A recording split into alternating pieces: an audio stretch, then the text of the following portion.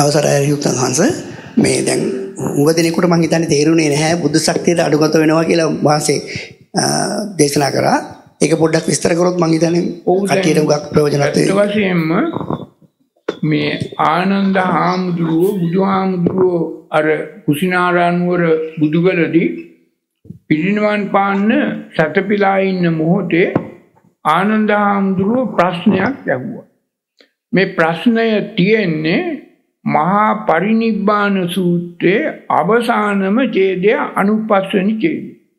මේ අනුපස්සනි ඡේදයේ තියෙනවා ආනන්ද හාමුදුරුව අහනවා භාග්‍යවතුන් වහන්සේ ඔබ වහන්සේ දැන් පිරිනිවන් පෑවට පස්සේ අපිට මේ බුදුරුව බුදුහඬ ඔබේ වහන්සේගේ මේ බුදුරුව බුදු ශක්තිය බුදුහඬ ලැබෙන්නේ ඒ නිසා කෙනෙකුට සෝතාපන්න වෙන්න අවශ්‍ය වන්නා වූ මේ බුද්ධ ශක්තියට අනුගත වෙන්න ක්‍රමයක් නෑ නේද කියලා. ඒ ගමන බුදුහාමුදුරුවෝ කියනවා නෑ ආනන්ද මාහේ වං ආනන්ද දසනියානං සංවේදනයානං සද්දස්ස කුල පුත්තස්ස. සද්දස්ස කුල පුත්තස්ස කියන කොටසට පත් වුණොත් සද්දා ඉන්ද්‍රිය මතු වුණොත් දහම් මැස පාදාගත්ත පුද්ගලයෙකුට චත්තාරිමානිට ආනානි. පැහැදිලිව පිරිසිදුව ස්ථාන හතරක් නම් කරලා තියෙනවා. බෝසත්තුමා උපත ලැබූ තැන බුද්ධත්වයට පත් වූ බෝධීන් වහන්සේ ගාව ධම්මචක්කප්පවත්තන සූත්‍රයේ දේශනා කරපු ඉසිපතනාරාම ඉසිම්බැස්සගල පිරිනිවන් පාවදාල බුදුගල කුසිනාරාම. මේ හතරම තියෙන්නේ එකම දේශාංශක රේඛාවක එකම සමාන දුරින් ඒක චත්තාරි මානිටාන. මානි කියන්නේ මිනුම. එක එකම රේඛාවක එකම සමාන දුරෙන් තියෙන ස්ථාන හතරක්. එතකොට මේ ස්ථාන හතරම තියෙන්නේ මධ්‍ය මණ්ඩලය තුල. මේ හෙළබිම තුල. ජම්බුද්දීපය තුල. එදා මේක ජම්බුද්දීප. ඉතින් ඒක නිසා මේ වෙන කොහේවත් ලෝකේ මේ බුදුවරේ ඉපදුන තැන බුදු වුණ තැන ධම්මචක්කප්පවත්තන සූත්‍රයේ දේශනා කරපු තැන පිරිනිවන් පෑව තැන ඉන්දියාවක නැහැ. ඉන්දියාවේ එහෙම තැනක් තියෙන්න බෑ. තිබුණා නම් ඉන්දියා අපි පිළිගන්නවා තිබුණා නම්. නමුත් එහෙම එකක් නැහැ. ඉතින් ඒක නිසා ආනන්ද හාමුදුරුව කියපු දේත් ඒවා ලේඛනගත කරලා තියෙනවා පස්සේ ඒවා අද අපිට කියව ගන්න පුළුවන් මහා පරිනිබ්බාන සූත්‍රය. ඒ වගේම ඔබ සියලු දෙනාටම ඔබේ ඇහෙම්ම බලා ගන්න පුළුවන් ওই ස්ථාන හතරම මම මතු කරලා පෙන්නුවා. මම වෙන කවුරක්වත් ඕක මතු කළේ නෑ. මම තමා මේ කල්පයකට කාලෙකට පස්සේ අවුරුදු 1000 ගානකට පස්සේ 1000කට විතර පස්සේ මේක මතු කළා මේක යටපත් වෙලා තිබ්බා. හැබැයි පෙර රජදරුවන් නිසංගමල්ල රජුරුව පොළොන්නරුවේ රජ කළ අවසාන බලවත් රජුරුව මේ හතර ස්ථානය වඩන්න වඳින්න ගියයි කියලා මහාවංශ තියෙනවා. මහාවංශ තියෙන ලංකාවේ ඉතිහාසෙම ලක් ඉන්දියාවේ නෙමෙයි. නිසංගමල් රජුරු ඉන්දියාවට ගියේ නෑ.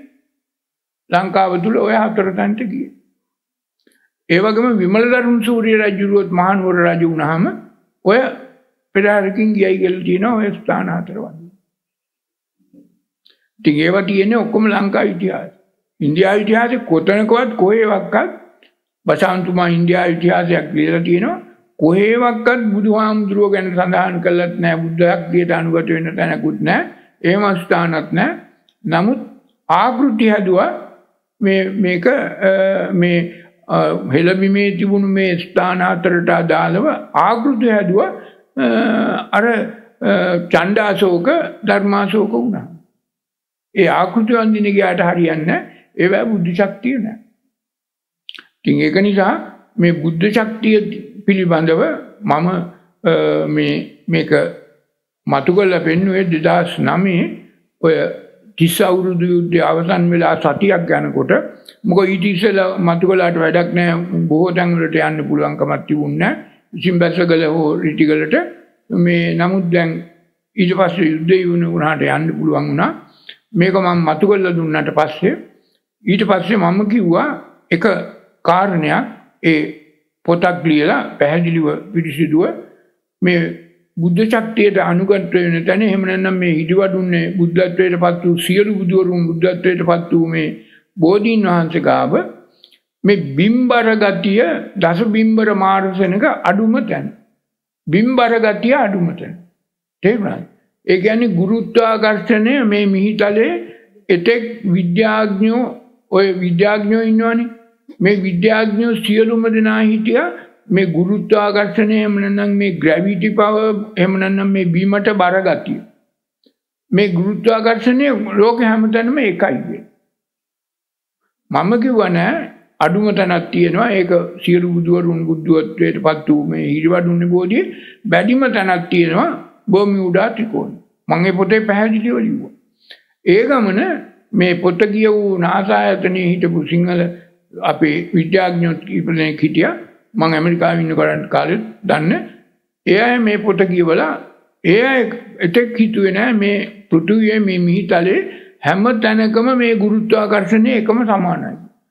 ඒගොල්ලෝ චන්ද්‍රිකාවක් ගැව්වා අවුරුදු දෙකහමාරක් පර්යේෂණ කළා 2009 මම මේ පොත ලිව්වේ 10 11 12 වෙනකන් පර්යේෂණයක් කළා චන්ද්‍රිකාවක් කරලා බිම්බර ගතිය මනින්. මැනලා ඒගොල්ලෝ මේ ග්‍රැවිටි මැප් එකක් එහෙම නැත්නම් ගුරුත්වාකර්ෂණ මැප් එකක් Google මැප් එකක් හැටියට නිකුත් කළා. අදත් අන්තර්ජාලයේ තියෙනවා. හිරිවඩුන්නේ බෝධීන් වහන්සේ ගාව තමා ලෝකෙම මේ මිහිතලයේ පෘථුවියේ බිම්බර ගතිය අඩුම තැන ඊට ප්‍රතිවිරුද්ධ තැන තමා බර්මියුඩා ත්‍රිකෝණයේ බිම්බර ගතිය වැඩිම තැන. මේක මම මතු කරලා පෙන්නුවා.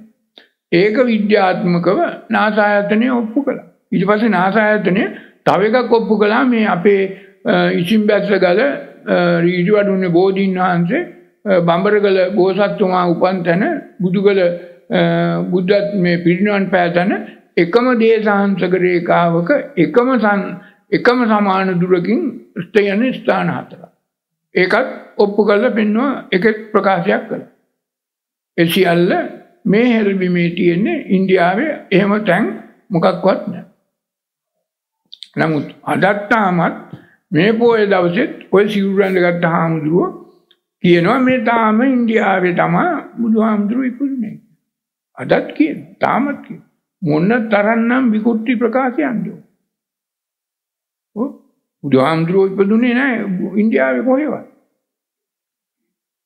මේ පූජාවලී කියලා ලොකු පොතක් ලියලා තියෙනවා මේක පොළොන්නරු යුගයේ අවසානයේ හෝ ගම්පොළ මුල යුගයේ ඊට පස්සේ දඹදිව යුගයේ නැවත ලියපු පොතක් පූජාවලිය පූජාවලියේ පැහැදිලිවම මේ පරදේශයයි ප්‍රතිරූපදේශයයි විග්‍රහ කරලා තියෙනවා 107 8 පිටුවල. බුදු කෙනෙක් උපදින්නට බැරි ප්‍රදේශ පරදේශ. නේපාලය, කාම්බෝජය, ඉන්දියාවේ ඔක්කොම රටවල් වල නම් ලියලා තියෙනවා මේවා ඒ කාලේ. පූජාවලිය ලියපු 1200 300 ගණන්. ඒ කාලෙත් ඒවා පරදේශ නේපාලේ. නමුත් අද මේ ලංකාවේ ඉන්න හාමුදුරුවෝ නේපාලේ බුදුහාමුදුරුවෝ ඉපදුනේ.